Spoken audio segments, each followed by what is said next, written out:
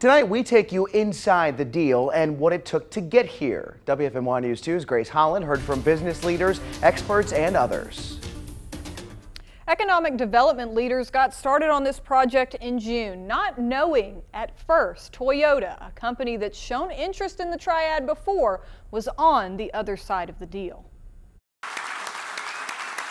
The Triad giving Toyota a warm welcome as it announces it will build at the Greensboro Randolph megasite. We will see the benefits of today for decades to come. 1,800 acres will become home to the automaker's first battery manufacturing plant for electric vehicles in North America. It's not the first time Toyota has eyed the megasite. They knew the people, they knew the players, they knew the state, they knew the area. The megasite lost a bid for a car manufacturing plant in 2018, but local and state officials so, didn't give up. You never knew the client that walks away today may be the one that comes back um, next year or two or three years down the road. Toyota says the state's higher education system and transportation hubs were big selling points. The most important factor was the area's diverse workforce. The plant will make lithium ion batteries for 200,000 cars, with plans to eventually make more than 1.2 million battery packs per year. Here we are on the on the cutting edge of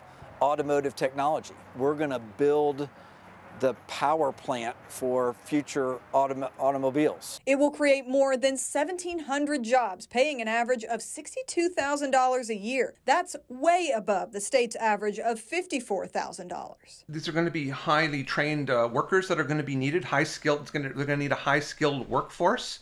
Um, and so we're going to need partnerships across the board with community colleges, with the four-year universities. Toyota so plans to start hiring no later than 2024, with production starting by 2025.